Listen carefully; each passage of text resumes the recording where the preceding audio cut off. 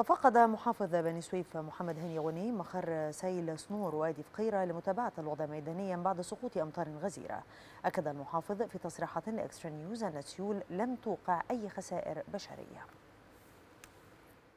طبعا هو الموضوع ما ابتداش من النهارده ولكن من كام يوم لما رصدنا إن هيبقى في أمطار على سلاسل جبال البحر الأحمر قد تصل إلى بني سويف. الحمد لله بني سويف الأمطار نزلت عليها امبارح كانت نعتبر إنها في المعدل وكانت خفيفة جدا ولم تسبب أدنى مشكلة. ولكن كانت المشكلة عندنا في الأمطار اللي نزلت على سلاسل جبال البحر الأحمر اللي كانت غزيرة الحمد لله لم تصل إلى السيول ولكنها كانت غزيرة.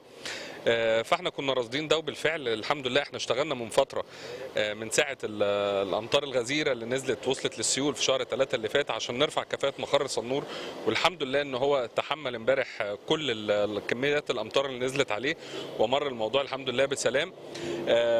طبعا في أمطار أخرى نزلت على وادي فقيرة زي ما حضرتك قلت في بيبا ورحنا واطمنا هناك.